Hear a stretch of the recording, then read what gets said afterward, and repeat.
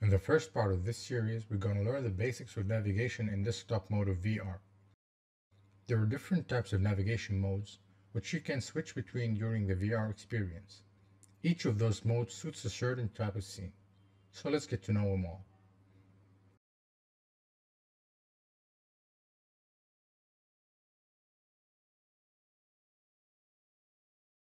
The first thing we need to do before beginning to view the scene in VR is setting up the starting position. Make sure you're in the VR workbench and from the VR viewer menu, select Set Start Position. A human model will be loaded into the scene. Click anywhere to snap the starting position to where you clicked, or use the transformation tool to position it.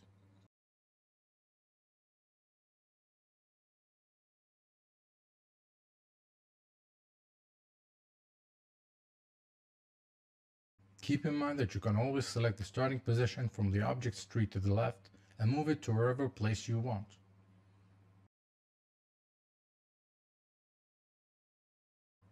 Now that we're done with setting the starting position, from the VR Viewer menu select Show in Viewer. From this dialog, we choose whether to run the experience in desktop mode or in VR mode if we have a VR headset such as HTC Vive or Oculus Rift. You also have the option to protect the file which will not allow the user to save the scene from the VR viewer. Optimizing the scene speeds up the experience by merging inactive 3D objects and it does not take a lot of time to perform. Therefore, I suggest you always use this option. Click on desktop mode to run the experience in desktop mode. Use the up and down arrows on your keyboard to move forward and backward. You can also use the W and S keys. To strafe left and right, use the left and right arrows or the A and D keys on your keyboard. You can also use a combination of keys like right and down to move diagonally. To look around, move the mouse. By combining the arrow keys on the keyboard and the mouse, you can move and look around in the scene with ease.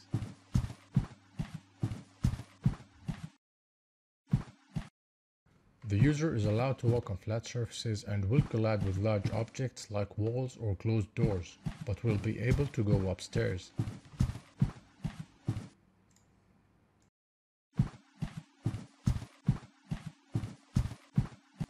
The user can also use elevators of all sorts to move from one place to another.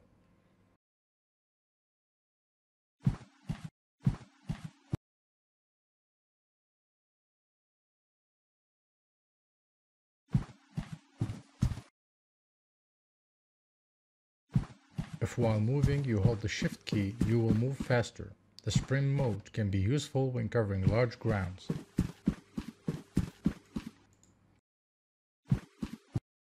Click the mouse wheel to reveal the VR menu. From this menu, click the navigation icon. By default, the navigation mode is set to walking and you can set the walking speed by clicking on the icons at the bottom of the panel.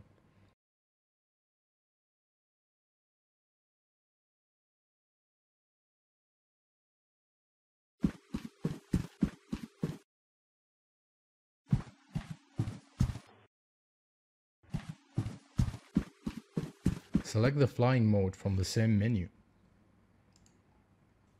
In flying mode you can move left and right and forward and backward similar to the walking mode. But if you were to look up and press the up arrow on the keyboard, you will fly in that direction without being constrained by gravity. Flying allows you to explore larger scene faster and get to places that are otherwise unreachable.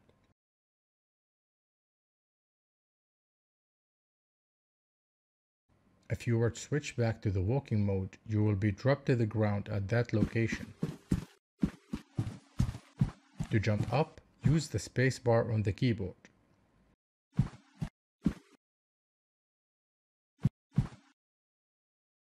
The third navigation mode in desktop viewer is the mechanical mode. The mechanical mode, as the name states, is suitable for examining mechanical designs since you can rotate around the object and focus. Scroll up and down the wheel to zoom in and out. Hold the left click and move the mouse to look around you. To switch the focus to another object, double click that object. Navigating the VR experience in desktop mode is pretty easy and straightforward. It comes in different modes which allows you to explore different kind of scenes with ease.